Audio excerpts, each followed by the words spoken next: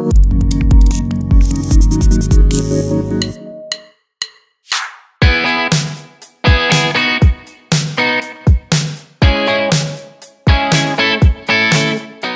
Dickinson ISD Education Foundation recently held a ribbon cutting ceremony for a new book vending machine at DHS's ninth grade center. The funds for the new book vending machine was awarded to the high school by the Education Foundation through a $5,000 innovative teaching grant to promote the campus wide Gotta Keep Reading initiative.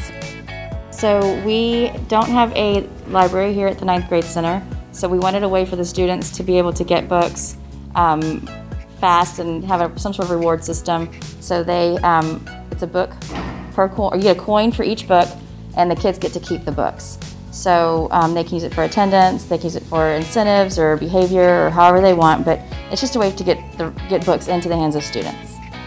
So what we did is we wanted to pick out a lot of books that were interesting for high school students and things that would get their engagement. And then once they see one of their peers with a book, they would try to do something um, in order to earn a book as well. So we hope that um, it will spread throughout the year, and we're excited about to use it this year. Thank you, Dickinson Education Foundation.